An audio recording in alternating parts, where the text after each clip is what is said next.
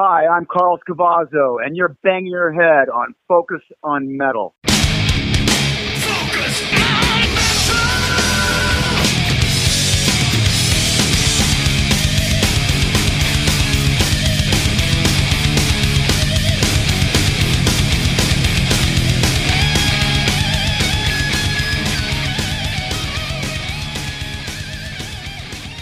Hey, Metalhead, Scott Thompson here, welcoming you to another dose of Focus on Metal. And no, no Carlos this week. We instead have bassist Chuck Wright. Yeah, I didn't really have an ID for Chuck, and then it was okay. I could be a smartass and put a Rudy Sarzo one up there and uh, do that. So one bass player for another bass player. Then I decided, you know what, I'm going to check Carlos on the front end. So there you go. But this week we are talking to Chuck Wright. And for those of you that uh, aren't really familiar with Chuck, kind of like the uh, the kid that was doing the uh, autographs for uh, the documentary there for Quiet Riot. Well, now you're here. That uh, yep, Chuck he came to prominence in uh, Giuffria, and he is the bass player on the uh, that single "Call to the Heart." And he left Giuffria, and I think around '86 to hook back up with Quiet Riot, and he is uh, he is on the Metal Health album, at least on Metal Health, and uh, Don't Want to Let You Go. So he is on that 1983 release, but then uh, you know goes on his way, goes to Giuffria. Most people realize think that uh, it's Rudy on Metal Health for all of it, and isn't, which is why I said you get that classic scene where that uh, kid doesn't want Chuck's autograph because he's like, yeah, but you're not on the album. I just, I felt so bad for Chuck in that scene. But, anyways, goes from Giuffria around 86, hooks back up with Quiet Riot again uh, in time for the QR3 release. He plays with them for a while. He's also uh, hooks up with House of Lords from uh, from 88 onward there. But he's also, so he's on House of Lords, he's on Sahara. Then uh, a few other ones from there as well. He's also played with Heaven and Earth, but he has been just on a crap load of different recordings. Ted Nugent, uh, Pat Travers' Superstition album. He's on that one. Like I said, if you want, go look him up and uh, Google him, and you will just see an amazing, amazing array of albums. This guy is definitely somebody who is in major demand by all kinds of folks. And besides the recorded output, you know, all the touring stuff he's done as well. Chuck's going to talk this week about time out touring with uh, with Alice Cooper, but he's also toured with a crap load of other people. But also, the reason Chuck is on the show is that he has just put out a uh, a new album on Cleopatra Records called Chuck Wright's Sheltering Sky. And he's got all kinds of people on here. And it's not just the typical stuff that you would expect from Chuck. So he's going to get into that. You're going to get a real good feel about that. But he's got folks from, you know, Mr. Big and Skid Row, Jane's Addiction, Asia, just all kinds of people on this album with him and it's actually even been uh, been nominated for a couple of different things, and Chuck will get into all of that as well. And I really shouldn't say just came out because this has actually been out since uh, since May. But you can pick this up on Amazon. You can pick it up at uh, Cleopatra Records online store as well. And you'll also see up there tons of reviews for this as well. He's got some really, really good reviews for this. So it's really great to have Chuck on the show. He has got tons of stories. And honestly, there's been there's a few things that during the interview that he thought about over like the next 24, 48 hours, hit Richie back and said, Hey, would you mind snipping this and snipping that? And so, you know, we always try to do that. You know, we get a guest on. We never like to shit on a guest. So if someone says, you know, I thought better about something I said, would you mind? Always uh, comply with those wishes because these guys are given their own time to come on and, and we have to show our appreciation and our respect so uh, so we do that. And as longtime listeners know, we've never really been into, you know, utilizing artist statements as clickbait to generate more traffic or any of that kind of tactic. But even with all that, great stuff from Chuck this week. Hope you guys enjoy it. And with that, I'm going to turn it over to Richie and Chuck Wright. Hi, is that Chuck? Hey, Richie. Yes, it is. How are you? I'm okay. Do you have a favorite country, just in general, Chuck, to visit? maybe maybe one that you know you went there with a band and you didn't get enough time to really look around? Well- and you said, right, I want to go back. Well, recently, um, yeah, there's a couple. Like, I'd like to spend more time in Stockholm and Copenhagen, Amsterdam. Um, but this past summer, I was able to. You know, I've always loved Barcelona, and I've had this vision board of postcards, and and um, and I, I've found that when I envision certain things, that they actually happen. I can give you a few examples, but um, I had uh, a postcards of Barcelona that I looked at all the time because I really loved it the short time I was there. And this summer, I, I was there four times. Wow. you know, yeah, it was awesome. The Sagrada Familia and all the Gaudi. I just, it's just the food. I, I can go on and on and on. It's really, uh, uh, Barcelona was awesome. But yeah, um, it's hard. To, you know what? It's hard to pick one. The weather down in Spain um, is very similar to here, so I probably I really Major- Mallorca a lot as well. Um, you know, the island of Mallorca it was it's really cool. Is it over the years? Has it been frustrating as a musician that you're in and out of a lot of these places? Is that something you just get used to?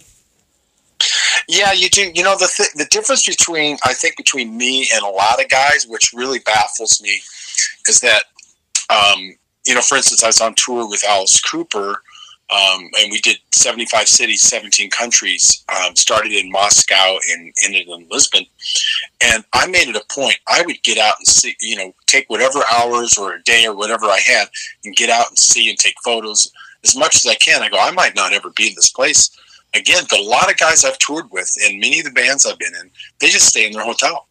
I don't get it. I don't understand why. You know, maybe they're just not interested in culture or being enriched in that way. But but um, I really try to get out, and and even if I'm tired, you know, from the travel or whatever, I'll still force myself to get out. I had um, we were in Switzerland, surrounded by I think eight or nine um, waterfalls in this chalet type village and I was having foot trouble, pain, but I didn't care. I just I just walked through it and and walked up to one of the waterfalls, and it just you know for me, you know that's that's that's what, what what makes me feel rich is that I'm rich in experience. I've never made a ton of money doing rock and roll, but I, I'm rich in friendships and rich in experiences and seeing the world. It's kind of priceless, I think. Yeah, Chuck, did you ever play golf with Alice Cooper? You know what? I'm a terrible golfer. Um, the one time I, the one time I did a, a golf tournament, it came to the first hole. It was a shotgun type thing where everybody started. I was with Meatloaf actually on that one, and um, they introduced me from House of Lords, Quiet Riot, Chuck Wright, and I do my drive and I hit it right in the crowd and almost took this girl's face off. So, Oh, God. so, so no. But you know what? When we started our tour, um, we were doing pre-production, and and Alice. Um, you know, we were doing it up, I think in South Dakota or North Dakota, and and uh, in an outdoor venue, and he he did the pro am and won it. That was happening that day. He goes, "Yeah, I entered the pro am. I got the trophy. Anybody want it?" I mean, that's the way he was. He would love to. Um, you know, I'd go shopping with him a lot, and, and Alice loved to find a deal. Like, oh, look at the deal. This is great. I'm going to get this. And then he would show everybody backstage you know, you I look at what I got this for. You talked about the item and how cheap, uh, how what a great deal he got on it, and then he'd give it away. Wow. You know, yeah, he he's awesome that way. I mean, that was a highlight of my life was touring with that band. That that kind of production. I'm really into big production. And it's kind of like being in a a rock musical Broadway show. You know, that was heavy. We did a lot of heavier music because we are doing the Descent into Dragontown tour. So the first part of that show was was the heavier music that he was into at the time, and and then we, uh, you know, then we would break it up with the drum solo and do uh, do a lot of the other stuff. You know, no more Mr. Nice Guy and you know, Welcome to My Nightmare Mm. and that kind of thing. Chuck, who was in his band when you were in it, or you were in it? Oh, it was a great band, and uh, most of the guys are still good friends of mine. Um, the drummer, um, this is how it came about. It was because of the drummer. The drummer's Eric Singer, you know, from Ah, Kiss. Yeah. Him and I were both in Montrose, uh, you know, with Ronnie, playing Mhm. with Ronnie Montrose. In fact, um, Eric came in replacing my late friend Pat Torpey. And um, Eric said, Hey, listen, man, um, you know, we're going to be checking out bass players for Alice Cooper. Do you want? Are you interested? And, you know, and Ronnie was only doing sporadic shows and not really doing a lot. And um, you know, the Alice tour was going to be huge. And and uh, I said, yeah, I'll come. I'll check it out. And you know, it was between me and Chuck Garrick and I got the gig. And then Chuck now is the bass player. I rejoined Quiet Riot, but um, he uh, he's the guy now. But um, so it was Eric Singer on drums. Uh, my friend Eric Dover, who you might know from Slash's Yeah. uh, Snake Pit and Mhm. Jellyfish, um, and then uh, my good friend Teddy Zigzag, who you might know from Guns N' Roses, was on keyboards, and a guitar player who who's in England, who I haven't really been in touch with since then, is named Pete Friesen from the Almighty. Yeah, I know Pete. Yeah. Yeah, yeah, and he's great. I mean, that was a killer band. I wish there was really well recorded live footage of it, but most of the footage I've been able to find from that tour is somebody with a phone. You know, back in the day, and the phones back, you know, that was what twenty years ago. They were, were weren't as good as near what they are now, as Mm. far as the quality, uh, picture quality. We did one TV show um, in England that's on YouTube that actually I just discovered, and it was it was for a charity, and Roger Taylor introduced us. It was it was cool. You bring up tours now that you know weren't professionally filmed. There must be other tours you did over the years that weren't professionally filmed, and you look back on now and you think, "Damn, I wish we would have done one, w- done a, a video for that." Well, you know what I, I do, but but in this day and age, we we always comment on it's a double edged sword because you know you will do a, a show and then before you even get off stage, it's already posted on YouTube, Yeah. and you know usually poorly recorded, you know all distorted, and the shot the shot. It's like you have no control over what's out there, and there's usually a lot of videos out there from that one show. Um, but to have it professionally done, um, yeah, I would. There's a bunch that I would really love to do that. I mean, Giuffria, uh, when I was, we did do a professional one um, in Japan. When that was actually my last, I think it was my next to last show with them before I rejoined Quiet Riot back in uh, '86. Um, but that was out there, and it's good too. Craig Goldy was what a brilliant guitar player, you know. Yeah, he left to join Dio, and I left to join Quiet Riot again. Rudy had left uh, again. You know, I've been in and out of that band like five or six times. I can't even keep count anymore. But anyway, um, you know, Kevin called me and said, "Hey, you know, Rudy's leaving. Do you want to join? And and and uh, you can you know work the tunes with us." And the reason both Goldy and I left Giuffria because Giuffria just finished doing sold out tour with Deep Purple and Foreigner, and we were headlining in Japan. We really had a lot of momentum. We had a hit single, um, but the the problem was that Gregg Giuffria and the singer David Glenn Eisley, who's still a close friend of mine, David, um, they just said, "Hey, we're the we're the songwriters," you know. So basically, they said, "You guys are just side guys." So, you know, I'm on a songwriter. I mean, I have a solo album out now, and I think most people will be amazed at the diversity of it and, and check it out. But um, yeah, so we left that band because of that. Hmm.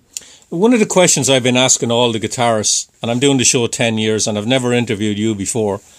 Um, how many guitars do you have in your house?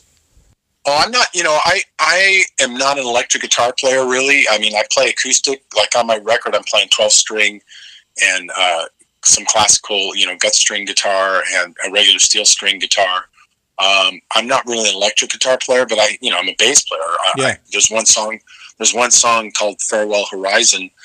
Um, there's two instrumentals, and this particular instrumental, uh, "Farewell Horizon," has three basses on it at the, you know playing and and they all make perfect sense the way it all works together um, it's pretty interesting but yeah um, i did see that you had my good friend doug aldrich uh, on your show not too long ago Oh, I love Doug. Great guy. yeah doug's I, I still think and you know I, I did the bad moon rising record with him and and he was on 95% of the uh, house of lord sahara record and toured with us i think his solo in our remake of can't find my way home is, is still one of his most brilliant moments um, Yeah. if you listen if, you know it's just one of those solos it's just like oh my god you know Yeah. it's just uh, spectacular but yeah I'm, uh, yeah he's i haven't seen him in a while you know he's so busy that that band he's in uh, the the daisies keeps him so busy it's crazy Yeah, they're a great band.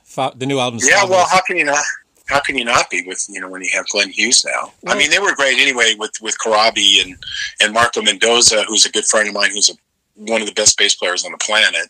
You know, and he sings his ass off. So it's like that was, you know, they they have the funding to be able to do whatever they want to do. Yeah. so yeah. I would love that. I would love that. Um, when people listen to my my album, they you know they they go, wow, it's really cinematic and it's really deep and it's so diverse and all this stuff. What do you think about touring it? I go, I need Roger Waters' budget to be able to tour this album. you know, there's, I, you know, I have 41 guest musicians on it and singers and, and, uh, you know, it's, it's very, very deep. I, I worked with um, a friend of mine who's an award winning um, film composer and he's, he also mixed and engineered um, five of the tunes and co-produced five of the tunes with me, so, which lends itself to having such a cinematic feel to it. I mean, I was already into that to begin with. I love that kind of thing, and, and it feels like a conceptual record um, when you listen to it top to bottom. Uh, um, that's what I think, and, and that people have told me that too. That it feels like that. I've I've I've listened to it, Chuck. It is very diverse, and I like that. That's one of the things I like about it because at this stage, uh, how long have you been a professional musician? Oh my god, over forty years. It, it, after forty years experience, it should be diverse. Well, yeah, I mean, I you know what? When I started this, I had no intention of doing a solo record. I was just writing because of COVID and being shut in. I just had the time to sit and compose for myself, and so I was just composing songs that came to me or like something influenced me like the pandemic for instance influenced me with looking at the apocalyptic feel of the whole world. So I wrote "Weight of Silence," and and um, which is the opening track, and, and, I recorded it all myself. I put out a, a video of it, and um, Troy Luccketta from from Tesla reached out and said, "Hey, it would sound great. I love that track. It would sound great with drums." So he recorded. It. Then Allen Hinds, who's a top um, jazz fusion guitar player here, same thing.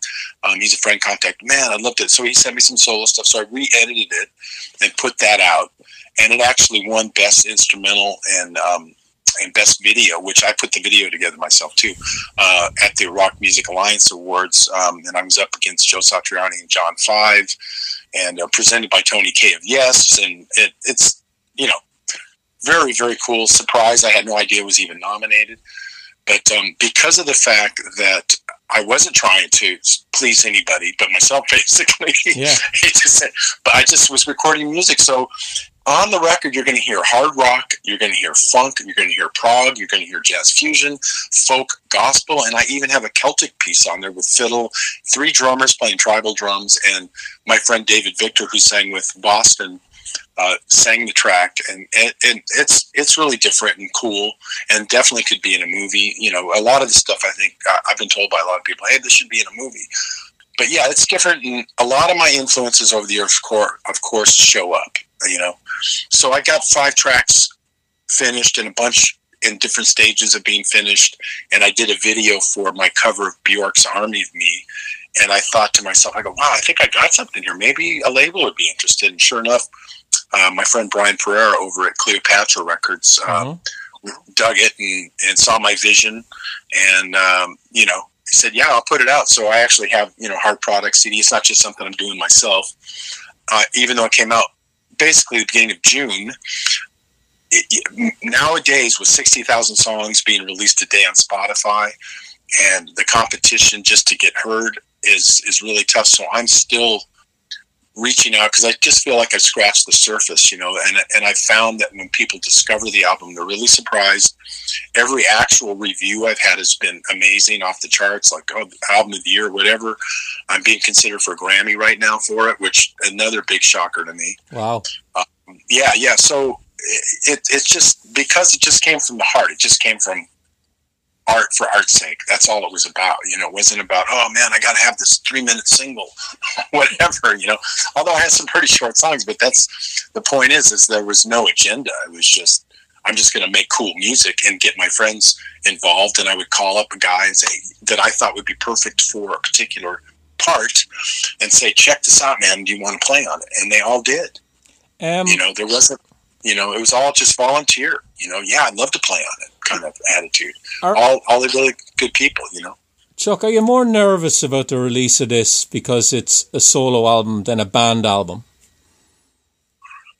Um, I, I wasn't. I'm not. I wasn't nervous at all about putting this out. I wanted it to be. You know, I have no delusional. You know, I think it's going to be this big, huge thing. But um, I, I really wanted people to know it that don't know me you know, I mean, a lot of people don't know I produced a couple reggae records and an ambient trance record, and I, have done country records and, and even um, hardcore with Sen Dog from Cypress Hill, some rap rock kind of music, and you know they don't know. A lot of people don't know all that about me, and and this album kind of speaks to what I'm about um, as a musician, songwriter, um, you know, and vision and all of that. Um, and it for me, it's my legacy as opposed to, and I know it's it's a big thing, but you know, the bang your head. Uh, that's 1983. Hmm. You know, that's this is my for me. This is my legacy. I wanted to finally have something that spoke to what I'm about musically. Um, and I, that's why I was so pleased that you know, hey, wow, I finally have something here. It looks, you know, and somebody wanted to actually put it out. Tell me, Chuck, about you would have had a, a, wish list of performers you probably wanted on this, and a lot of them you probably already knew, but maybe there was some on it you didn't really know that well, and that you know you needed someone that you knew to contact them and get them on. Was there was there some of that? Um, no, I just reached out to people I knew, good friends. I mean, it, it, I would love to have Jeff Beck and Vinnie Colaiuta playing on my yeah, record. Yeah. You know, I'm going to go see Jeff Beck. I'm going to go see Jeff Beck in a few days, but because he's my favorite guitar player, and Vinnie's my favorite drummer. To to be able to play with that band would be a dream come true. Um, but uh, you know, yeah, there's there, sure there's people out there that I would love to have gotten involved, but um, because I've made so many good friends over the years, and because of my event called Ultimate Jam Night that I started in 2015, which has had well over 2,000 professional musicians, I've made a lot of a lot of new friends too. You know, um, through that event which continues on. We're doing another show on December 6th at the Whisky A Go Go. Hmm. You know, yeah. what, you know what I love about the, the Ultimate Jam Night? I love the whole idea of it, that musicians want to get together to jam with other musicians. That you hear over the years, uh, I've heard it in interviews, magazines, and, and all that, that, you know, musicians, all, all they're on about was money. You know, that that's all that interests them now. And yet you have something like this where it's maybe bringing the innocence back a little bit to why musicians got into it in the first place was to play with other people. Exactly, um, and I don't charge a cover. You know, it's for the music community, and and um, when it started, it was like DJs were starting to take over, and there was no scene for the musicians, and and hence then we, there's like little jams all over, but nothing run like ours or at the level um, of the musicians that, that play um, Ultimate Jam Night. But it basically, it's so great seeing uh, people like meet for the first time and then they're on stage playing together and they have certain magic or actually putting the people together that haven't seen each other in years. I, I put together um, one show, I had um, Sugarfoot Moffett, the drummer, and Greg Wright, the guitar player, that both did the Michael Jackson Thriller tour. And they hadn't seen each other since. And I got a hold of both of them and said, Hey, do you guys want to come down and, and play? you know, and, and got them to come down and do some tunes. It was it was awesome. Things like that are great, you know. And also watching the growth of young musicians. We found a guy by the name of Derek Day, who was a busker um, on Third Street Promenade in Santa Monica. and thought he was brilliant. We brought him in. He's playing. He's getting seen, and he just he just played at the Forum, fronting uh, Dave Grohl and the Motley Crue guys for that for that um, the Hawkins show that they yeah. did.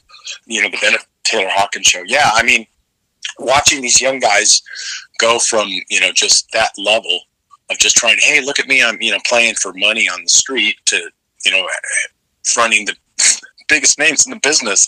It's been very that to me is the biggest reward you know i just watching that and trying to help people along and, and move things forward for their careers. Because it's harder than ever right now. I used to always say boy, I, would hate to be a solo artist right now or an independent artist right now. And then sure enough, I've got my own thing, you know. for the for the ultimate jam night, do you even get musicians reaching out to you saying, "Hey, can I do this?" I do. I have I have people reach out all the time to say, "Hey, I heard you guys are playing and doing this, um, whatever it is, uh, you know, whatever show." We we do themes um, in general, there's always a theme. Like the one coming up on December sixth is Guitar Heroes. So, you know, we'll be coming, we'll be covering Hendrix and Page and Jeff Beck and and the, and you know all the, the those guys. I mean, you could do like five shows with Guitar Heroes, but I'm talking about like the the ones that everybody you know right away are going to mention. Even Dimebag, we're doing a couple of his a couple Pantera tunes. Mm. Um, is it? Do you sit in on all the shows? Do you play with? Oh, I, there, if there... I'm in town, yeah, I'm. A, we have a, thing, a house band. Yeah, and um, originally my house band, well, still is Joe Travers, who who uh, played with Duran Duran. He played with um, Zappa. He still does Zappa. Uh, does Zappa um, in the Zappa band.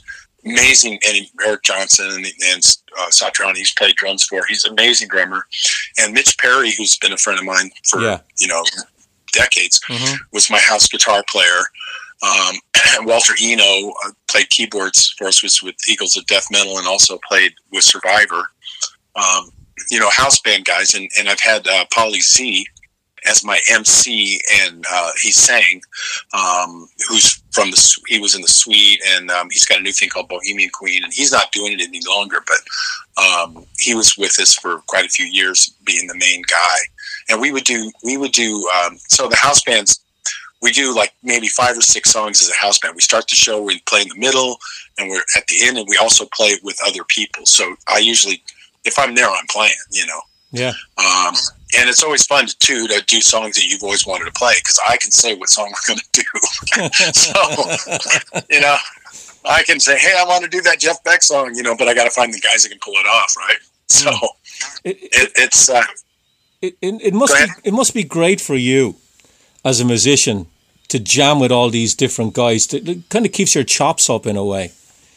Well, it, it is, and everybody has a different thing. And I've actually like, um, I'm I'm like now a go-to guy where people call me and contact me about, hey, I need a so and so, I need a drummer, I need a bass player, blah. and I've I've been able to get guys um, into bands. You know, Hmm. um, uh, for instance, just now I, I got a guy into the um, Steve Adler's band playing bass. Um, Daniel Spreewell, who played with he plays with Phil X and um, I thought he'd be really good for that. And um, sure enough, he got the gig. And there's been a lot of other examples of that as well. And and uh, like I said, it's been great watching musicians go on to. Uh, one of our bass players is, is out there with um, oh god, what's the guy's name? The uh, lead singer Queen now, Oh, Adam, Lambert. She's, she's out she's out playing bass with Adam Lambert. You know Yeah. now.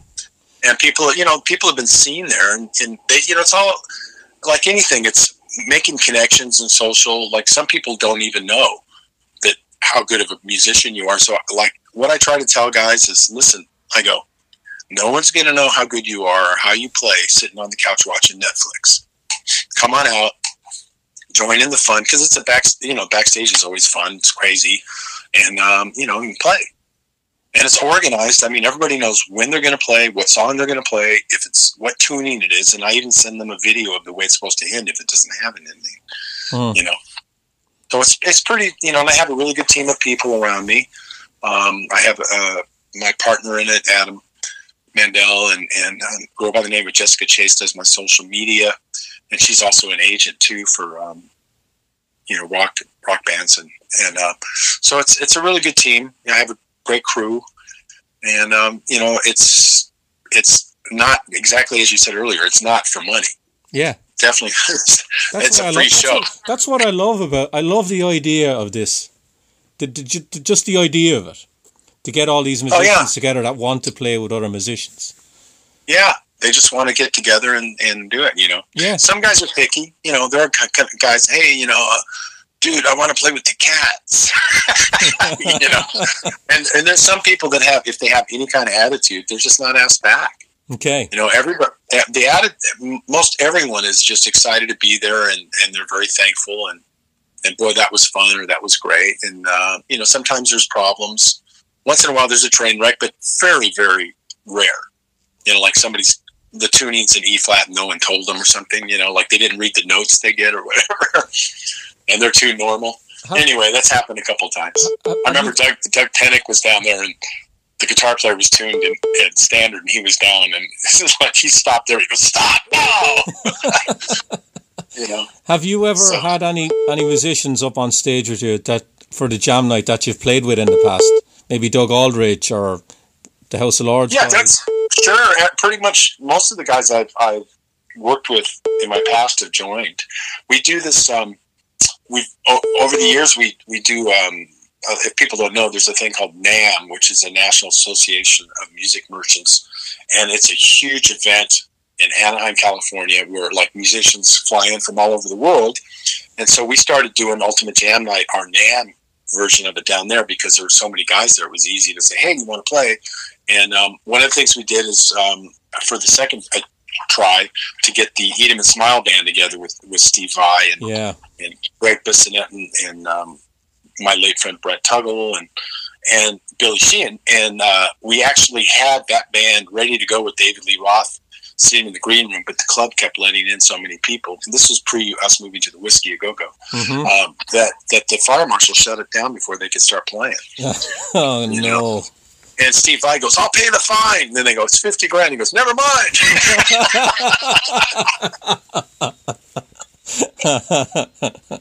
yeah, it was. It was. It was. Uh, yeah. So uh, the NAMM. Yeah, you're you're able to. I mean, Doug played it. You know. I mean, he, that's a good example of what I'm talking about. So yeah, there's. I pretty much. You know, Ken Mary, who I've done was with House of Lords, and I've done other records Impellitteri and, and all Mm. that with. Um, he's done it. He's flown in from Arizona to do it. Okay. Okay. Yeah. I just want to swing back to the the, the, the Sheltering Sky album for a couple of minutes, Chuck, and I've Yeah. got a few more questions. I want to ask you about Pat Torpey and Lanny, um, because I remember when the Mr. Big actual size record came out, you, Lanny, and Pat had co-writes on a couple of songs, and I'm thinking, were you three guys trying to get a band together back then? Is that is that how these songs came about, or are they Well, actually, we have um, two albums out. Um, it's called Odd Man Out um, with Pat Torpey, um, and he's the lead singer on it. And we have a bunch of different guests playing on it, but it's all songs that we co-wrote. But not going back that far. Um, um, we would get together and uh, at Pat's. Pat had a studio um, over his garage in the back of the house, and the three of us would get together and just jam out ideas. You know, we did a bunch of music for a sound library for movies okay? um, together. And um, what happened was, is I was looking for something else, a music file. So I'm going through old, old like thumb drives or whatever. I can't remember exactly, but it files on my computer. And I found some songs that we started that never finished. They just had drums, bass, and rhythm guitar. One of them had our, our version of Army and Me had um, some guitar soloing on it. So to me, the songs blew me away, and I just go, you know what? I want to honor Pat, and I think these songs need to be finished. So um, I finished them, and that's that's why they appear on the album. Um, of course, Lanny is in is it Afghanistan? He's in now, isn't it?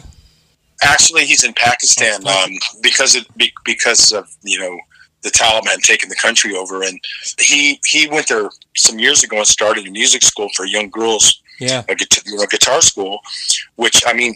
Lanny turned into Gandhi, you know. It's, it's, if you knew him like I did in the '80s, it's such a complete turnabout. Well, you see, that, that was the question I was going to ask you, Chuck. When he left House of Lords, did you get a sense that this this is what he wanted to do in the future at all? No, not at all. I Not mean, at all. in the in in the '90s, we did many many album projects together, and we actually did seven film scores together, working with him and Matt Sorum.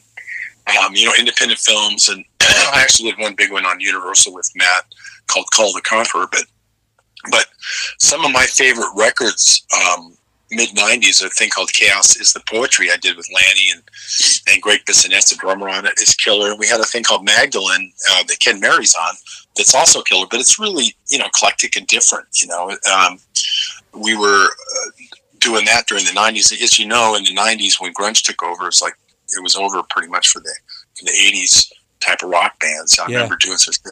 I was I did do.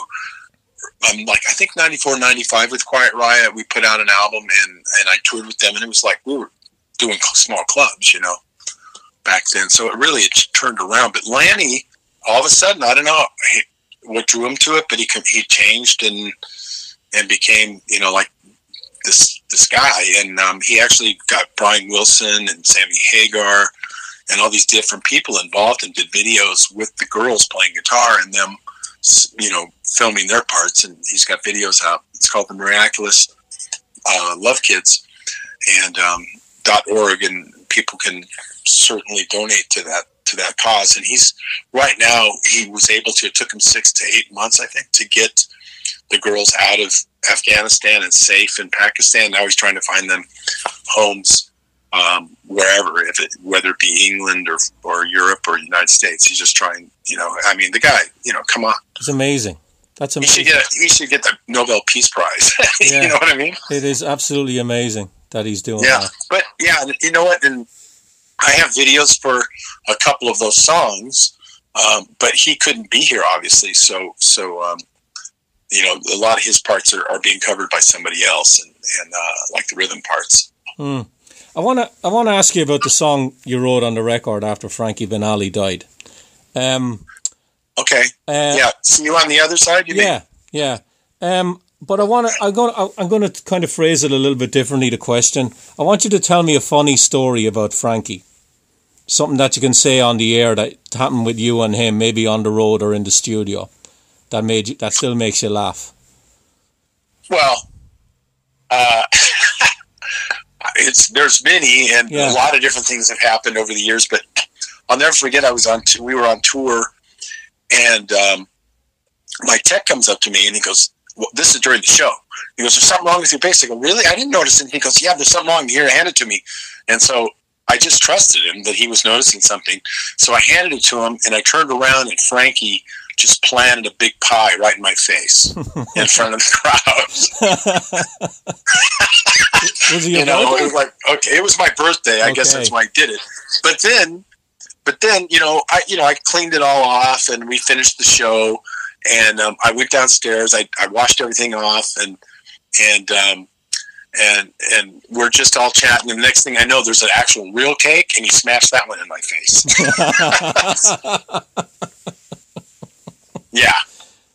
Wow. But uh, you know what? I with that song, what happened? I got a phone call, you know, that he passed, and it was. I knew it was going to come, but yeah. you just never know when it's going to come. And then when it came, I just had all these feelings rush forward from like losing my mom and, and like five of my best friends, like Pat Torpey and John Purdell and and others that I've worked with are just good guys that were like my brothers, and um, five or six of them, and it just all rushed to the surface. And I sat down with the 12 string right then and there and wrote that song top to bottom, including the chorus, um, vocal, um, lyric, and melodies and all that. And and um, so it was done, and I just finished out the verses with a guy named August Young that Frankie had been working with in a Zeppelin band called Mr. Jimmy. Mm. And I actually got all I got all of those guys involved in the song um, because you know to honor Frankie and it's guys that that he was just with and close to him, and so that they're in it. I mean, there's five guitar players on that song, but um, yeah, a lot of different people. But um, you know, it's just it, that's where songs come from. You just never know. I mean, that's if I wouldn't have got that call, I might not have ever written that song. You know. See, uh, here's, one the, here's one of the things, Chuck, and I've said this to other musicians before. In a way, I envy you because that's a way you can, you know, release the emotion of of something like that. That you have that that's gift. Cathartic. You have that gift yeah. that you can put it down in a song. And I'm not yeah, a musician, and I can't do that, and I kind of envy oh. that, envy that in a way, you know.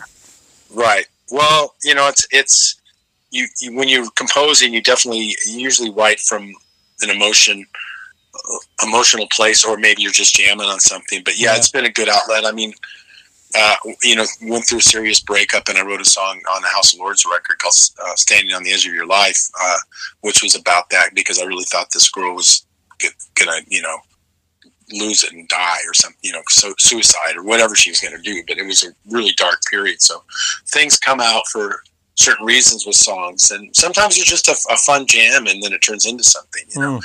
But um, but that particular song certainly um, came from um, you know that's that place of loss. Yeah. You know? Yeah, there's there's some there's a lot you know kind of people mention there's a bit of that um, on the record, but it's really there's a lot of hope in the record too. Okay. I, I got two more questions, Chuck, and they're both House right. of Lords related, and then I'll leave you go. The first question right. I want to know is what did you learn from Andy Johns when you did House of Lords? What did I learn from him? Yeah. Is that he tells a lot of freaking stories. I mean, you're in the studio trying to do a part, and he'll stop the machine and go, you know, there was that time that Pagey was like doing this guitar part, and you know he'll start talking about Jimmy Page or or Keith Richards or, or whatever, which is great. But when you're the, when you're trying to record, you know he was a very unique bigger than life character. Um, maybe you know had a few too many beverages, if you know what I mean. Yeah. Um, major drinker, and that was a problem. But but um, super talented, and he really knew his expertise in engineering is really what he was about. I mean, we co-produced the record so with ideas, but he would come up, you know, this we should try this tuning against this guitar and try this in this particular mic, and and he had all of that down. He was he was a very brilliant man, and um, and him and Gregg would get into it one time when we were doing the Giuffria record because I've done three albums with Andy. Him and Gregg got into it, and they ended up fighting and wrestling on the floor. It was pretty fun. Yeah, it was pretty funny Wow. you would have to see, you know, Gregg's hair flying all over the place, and and Andy's like, you know, like huge. Yeah, he's big like guy. Shrek. Yeah. He's like Shrek. You know, I remember his big fingers, uh, you know, working the the console and going, man, his hands are so huge. Hmm. Yeah, that sad sad that he's no longer with us, and, and his wife too. Just she passed not too long ago. Oh, too. Okay. So, so final question, Chuck. So you're still in touch with James Christian? Um, not as I mean, cordially. You know, once in a while. I mean, I never really got over the fact that uh, you know we went to England as House of Lords to do that live record and all that, and, and at the same time he'd already been negotiating a record deal to do his own version of House of Lords and took the name, and we didn't have the money at that time. I do now, but we didn't have the money at that time to to to go into litigation about um, using the name. You know, he just went ahead and did it. So um, I, that that always rubbed me wrong. You know, Okay. um, that he he did that. So and no, he's he's done like uh, what I don't know, ten records since then. So it's kind of like old. It's old news to me. just came out a couple of weeks ago. Yeah, and and uh, oddly enough, you might find this interesting. Frontiers Records reached out to me and asked me to do an album. Um, you know, songs that were already written with Jimi Bell, who I think is a phenomenal guitar player. I, you know, I did shows with him when he was playing with Autograph, and we were friends. And I, I think he's fantastic. And then Ken Mary's the drummer on it. And I originally I, I passed. I said, well, you know, it's not really I don't really. I feels like I'm going backwards because you know what I'm doing now musically with my own thing is is on a different plane uh, as far as style and what I'm doing. Hmm. But then they sent me the music, and I went, "Wow, this stuff sounds like you know Queensryche meets Old House of Lords. It's really good. Most of it, or at least the first few songs I heard, I thought were really excellent. So I joined in. I said, "Yeah, I'm, I'm in," and I did that, and that comes out sometime next year. And we just have to coordinate getting everybody together to shoot videos, which is kind of tough when you the singer. Um, James his James Ro- Roble. I can't remember. He's he's Argentinian, I think. He he's down in South America, and then you know Jimi's in the East Coast, and so everybody's spread out all over. So it's just a matter of coordinating us getting together to do um, some videos for that album. And it's actually for, like I said, it's that style. It's really done well, and that's why I decided to go ahead and do it. Nice. Well, I'm looking forward to that, Chuck. So, uh, Yeah, you know what? They called it Demons Down, which I thought was, was funny. I thought that was funny because nobody on this album had anything to do with I know it's the, it's the Third House of Lords record. Yeah, I know, and that's what they they, they they're you know they want to let people know. Oh, yeah, this has to do with how, but none of us were on it, so it, it's. But I have no say so in anything. I just play bass on it. Okay, okay. So, Chuck, tell people where they can get a copy of uh, Sheltering Sky and get in touch with you. Hey, well, it's Chuck Wright Sheltering Sky. It's it's um it's kind of a project name because I have so many guests on it, and it's not like Chuck Wright Sheltering Sky. Chuck Wright Sheltering Sky. It can be found everywhere: Spotify, um, iTunes. You, if you want hard product, I suggest Amazon or the Cleopatra Records website has it. Um, the album cover was done by my good friend Glenn Wexler, who's done Van Halen and, and Black Sabbath and Yes and um, Rush and uh, ZZ Top, on and on and on. He he just he's one of my good friends, and just said uh, even though I'm a graphic designer, he uh, offered his services. He goes, "Hey, I'd love to do it," and I said, "If the best of the best wants to do it, you got it." So, um, you know, a lot of people like the package itself, and a lot of people just in general like having hard product and, instead of just digital files. So, it's everywhere. Um, Chuck Wright Sheltering Sky, and there's four videos out too. Um, which I'm really proud of on YouTube. Um, besides just the tracks being on YouTube, there are actual music videos that I did that are out there. Nice. Well, Chuck, it's been a pleasure talking to you. Yeah, nice, nice talking to you too, man. Uh, you know, going in depth with certain things, cool. Yeah, I like that. I always try. I always throw the oddball question in. Well, yeah, you, you threw a couple at me, and I, you know, I hope I did okay. Yeah. All right, Chuck. Well, have a good rest of the day. Okay, take care. Take care. Bye. Bye. So, again, if you want to pick up Chuck's latest release, Chuck Wright's Sheltering Sky, you can find that up at Amazon or also uh, Cleopatra Records online shop. And there's other places too, Amoeba Records, come other places that have it. So just look it up. They're out there. Grab yourself a copy of that one. So big thanks to Chuck for coming on the show giving us a lot of uh, great info, stories, all that good stuff. And I uh, hope you guys enjoyed this one. And uh, no idea what's up for next week. Could be discussion. Maybe we'll continue on the maiden journey. I don't know. You know, we're getting into this November, December time frame, and if we were busy as fuck before, um, it's just totally blown out of the water when you start talking about November, December. Rest assured, though, we'll get something in the pipeline for you and pumped into your little metal ear holes. But until then, that's it. There ain't no more. Stick a fork in it. This puppy is done. So for Richie, myself, and everybody else here at Focus on Metal, have yourselves a great metal week. And until we talk to you again next time, as always, remember Focus on Metal. Everything else is insignificant. You're